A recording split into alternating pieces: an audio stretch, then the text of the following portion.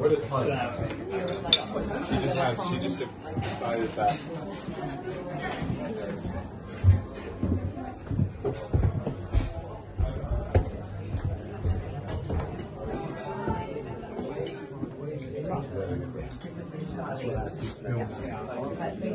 Good evening, Twitter, and welcome to Andrew Edmunds in Lexington Street.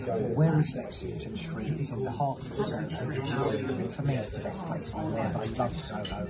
I love the, the, the energy. I love the streets. I love the fact that you can just get lost there.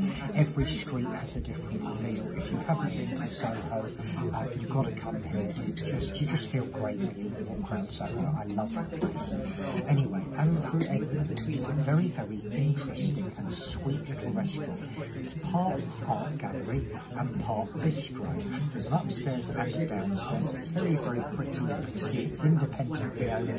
They've got a fascinating menu. I didn't know what to choose. The menu was so good. For starter, I had um, pork, um, pig, pig, pig's feet or something like that. Pig, pig's, pig's skull, pig's head. It was why I had the eel over horseradish, which was wonderful. Horseradish was world class. The eel was superb. For main, I had a pork chop, which was excellent. The chips were magnificent.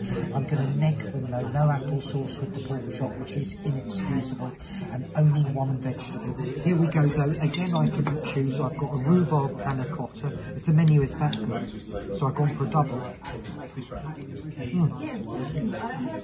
That's super. Here we go. This is a pistachio cake with pear. I love pear. Some creme even eat properly.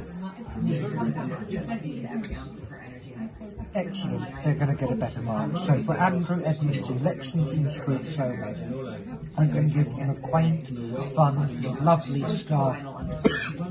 I absolutely love the menu here. A real experience, great fun. 8 out of 10.